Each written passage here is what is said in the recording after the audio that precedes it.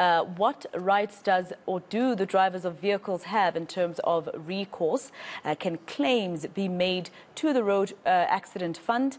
To unpack this for us, I'm joined now by uh, attorney Gert Nel. He joins us now uh, virtually. Thank you very much, Mr. Nel, for your time here on eNCA, or rather, Advocate Nel, for your time here on eNCA. Just first of all, in terms of the families and this case, obviously going about to take very long because of the investigations that have to go into it, especially after a cover-up. Uh, what recourse do the families, especially of those who died, have in the meantime? Uh, good morning to you and good morning to the viewers. Uh, I uh, think we just have to simplify the whole aspect around the complexity of the possible criminal issue that there might be. Yeah.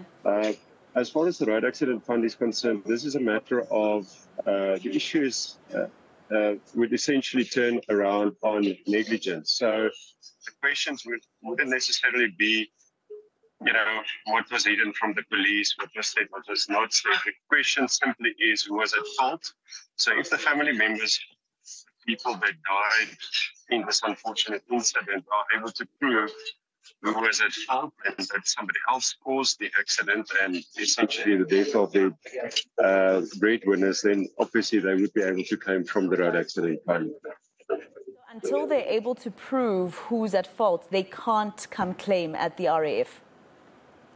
They can. Uh, you know, what we, our approach is to lodge a claim as soon as possible. So you gather all the information that you've got, you get all the statements that you can get from the police. Essentially, for me, what I've seen uh, shouldn't be too difficult to prove as uh, you know, some of these people that uh, passed on were passengers in the vehicles. Mm. It's actually easier to, to prove the claims against the road accident fund because you basically just have to prove that you were in that vehicle and that you were a passenger uh, or the person that died uh, to, to be able to qualify for a claim against the road accident fund. So I would really put the family members of the people who lost, uh, um, you know, family in this accident at ease by stating that uh, it's much simpler to claim from the road accident fund, you know, even having regard to the unfortunate, uh, you know, incidents surrounding the cover up or whatever these people decided to do after the accident. Mm. Essentially,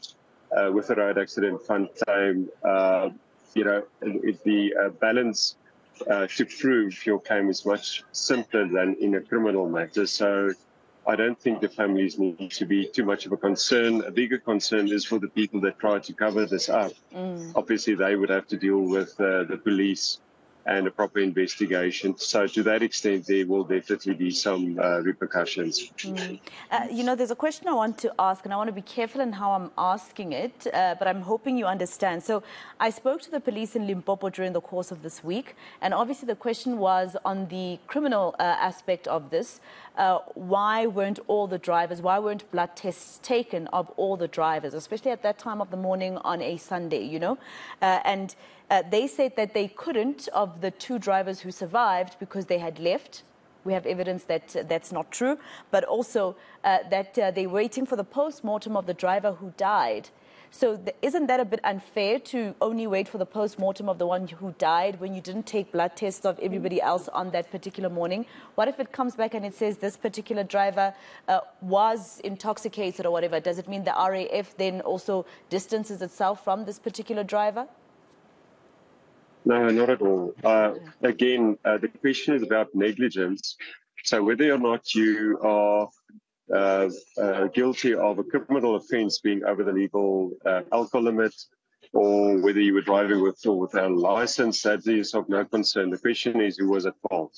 So um, it is again, it is unfortunate that uh, it seems to be or a cover up, but you know, we see that often in road accident fund uh, uh, uh, claims that people are removed from accident scenes, they're injected immediately after being involved in an accident, making a blood alcohol test, um, uh, you know, of no value. So again, you know, in terms of the road accident fund claim, if that is a concern of the family members, I wouldn't be too worried about that. Again, the people that should be worried are the ones that covered it up. Yeah. All right. Well, uh, that was going to be my next question. In fact, if the RAF uh, sees uh, cases like this often, but you've answered that for me just very quickly, Advocate. Uh, in terms of the families coming to claim and the injured women as well uh, coming to claim at the RAF, if and I'm hoping not, obviously, if their claims are declined, what other recourse do they have? What else can they do? Well, I can tell you if they're represented by a competent attorney that, that's got experience in, in work, it shouldn't be too much of a problem. Um, you know, the family members, uh, um, the um, ones that weren't involved in this cover up, you know, uh, shouldn't have anything to be concerned about. This is purely a civil matter in which you prove who was at fault and who was your family member and whether or not there was, uh, you know, a loss of support or indigency to, to prove that you uh, were dependent on this person. So again, essentially, uh, as far as the RAF claim is concerned, I shouldn't be uh, worried.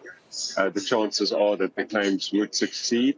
Mm. Uh, but again, I would advise these people to make use of a competent attorney that's got a, a you know a lot of years experience in that in this kind of work. Mm. So clearly, the RAF obviously is more of a civil matter part of it, and not necessarily the criminal part. So the criminal aspect of it will not affect their claims. No, not at all. Obviously, the Road Accident Fund does have their own internal uh, specialized unit that they investigate fraudulent matters, fraudulent claims. So I would uh, presume that if they pick up on anything untoward, they would definitely alarm the police, you know, to this. But again, the people that were innocent in this accident, innocent family members, uh, shouldn't be too concerned. I mean, obviously, if there are any information that stems from the uh, claims that are being lodged with the Road Accident Fund, obviously it will be picked up by the internal investigation unit. And I, uh, uh, you know, accept that that information will be given to the police and they will deal with it accordingly. But as far as the claims are concerned for the family members, again, the uh, it's two different matters altogether. Uh, there are new uh, proposed legislation that the Road Accident Fund is actually uh, published about two, or three weeks ago, in which they are clamping down or want to exclude people that were under the influence of alcohol from, you know, claiming from the road accident fund altogether. So at this point in time, we are busy uh, uh, submitting comments to the Department of Transport, but that's something for the future. It's not applicable to any matters that, that occur before that legislation is enacted, if ever. Mm. All right, Advocate, thank you so much for your time and for speaking to us. Uh, uh, Advocate Gert Nalde uh, from the RAF. He is uh, speaking about what the families can do in terms of claims, of, especially for those whose uh, loved ones died, but also uh, for the injured women as well. And of course, this can be advice for those of you outside of the story who have experienced the same thing, like an accident.